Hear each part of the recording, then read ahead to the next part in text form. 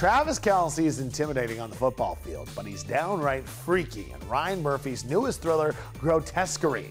A recent video teaser was released online and it looks terrifying. The series premieres on FX September 25th.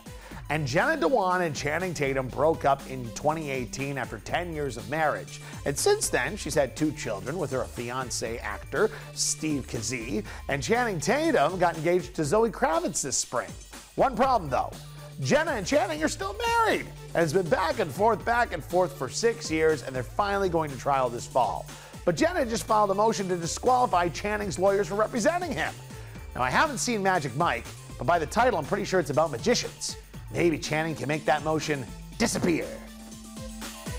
Star Watch has been brought to you by Bathroom Renovation Center.